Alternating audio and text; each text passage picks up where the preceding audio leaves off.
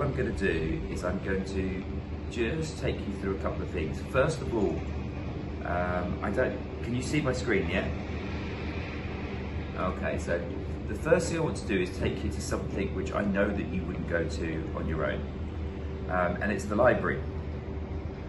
Okay, this is where you have to go during um, your your PSAT, your PS studies, your personal studies. You must be on the library sites. Okay and no talking to each other.